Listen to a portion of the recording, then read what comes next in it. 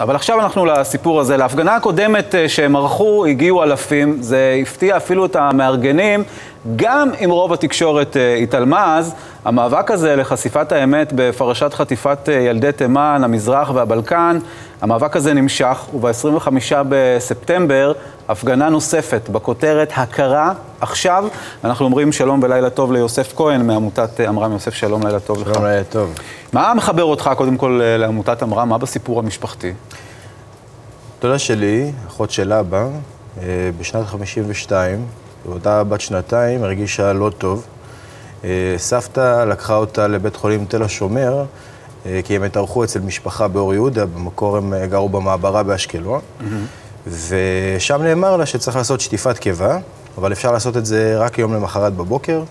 ביקשו ממנה לעזוב את בית החולים ולהגיע, לחזור בבוקר, להשאיר את הילדה לילה בבית חולים. כשהיא חזרה בבוקר, נאמר לה שהילדה נפטרה. כמובן שאין גופה, אין תעודת פטירה. ילדה בת שנתיים ילדה בת שנתיים, פתאום נעלמת. וסבתא שלי, אחרי 16, אחרי 14 שנה, מקבלת אה, צו אה, ראשון. אה, כמובן שמאוד הופתעה, מאוד נפגעה. וכשנחשפנו לזה שהסיפור הזה הולך וחוזר שוב ושוב בכל מיני משפחות, הבנו שכנראה יש קשר ואנחנו חלק מהסיפור הגדול.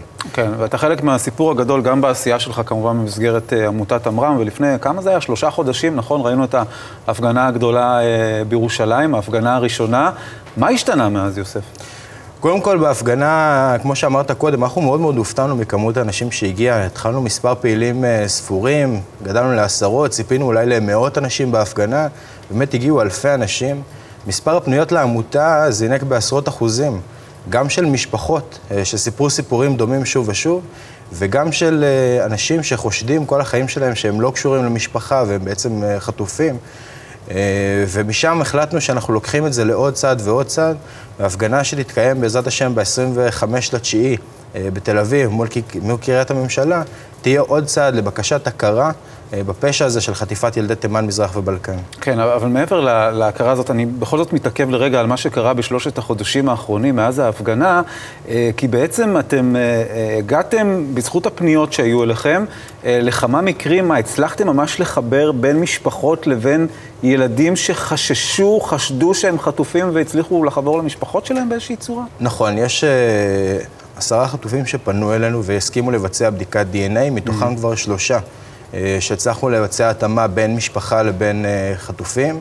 כמובן שאנחנו, כל הפרטים חסויים ואנחנו שומרים על הפרטיות של המשפחות. שזה מדהים, כלומר, אתה אומר שלושה מקרים שממש אה, אה, בין חטופים לבין משפחות שהתחברו בחודשים האחרונים, או לפחות ידועים, והמקרים האלה כמובן נשמרים בדיסקרטיות בשלב הזה. נכון, בהחלט בדיסקרטיות מלאה, ואני אומר לך אה, דבר נוסף, זה מבחינתנו, זה בדיוק הסיפור, כי הרי אם אנחנו כעמותה קטנה של מספר אנשים, הצלחנו לחבר כל כך מהר בין משפחות לבין חטופים, בטח שבטח שמדינת ישראל, עם כל הכוח והעוצמה, יכולה לעשות עבודה הרבה יותר גדולה בסיפור הזה. מה עוד צריך לקרות, אה, יוסף, במסגרת אה, חקיקה שאנחנו אה, מצפים לו בתקופה הזו? אפרופו כמובן העבודה הברוכה שעושה חברת הכנסת קורן בעבודה שלה בכנסת.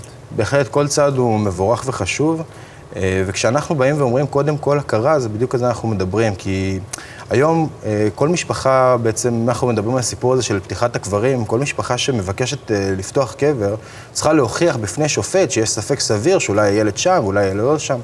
אנחנו בעמותה קודם כל מאמינים למשפחות, ואנחנו אומרים, זה מה שמדינת ישראל צריכה וחייבת לעשות קודם. Mm-hmm. קודם כל לקבל את הנרטיב של המשפחות, את האמת שלהם בזה שהיה להם ילד, והוא אה, נלקח מהם בצורה שהיא לא ראויה ולא חוקית. וזה עניין ההכרה שאתם, שאנחנו, אתם כמובן, אה, זועקים אה, כל הזמן. נכון. ו... מכ, מכאן כמובן שחשוב יהיה אה, להעמיד לרשות המשפחות האלה כלים אה, למצוא את בני המשפחה שנעלמו. אנחנו מצפים ממדינת ישראל להכניס את הסיפור הזה לתוכנית הלימודים. אנחנו מצפים, מצפים ממדינת ישראל באמת להתייחס למשפחות האלה בכבוד הראוי, כן. וזה צעד אחרי צעד. אז הכרה, אה, ב-25 בספטמבר, כאמור, ההפגנה בתל אביב, עוד נדבר על כך, אני מניח, עד נכון, להפגנה יוסף. אנחנו מזמינים את כולם להגיע 25 בספטמבר בשעה 6, קריית הממשלה, תל אביב. תודה רבה לך. תודה רבה. טוב.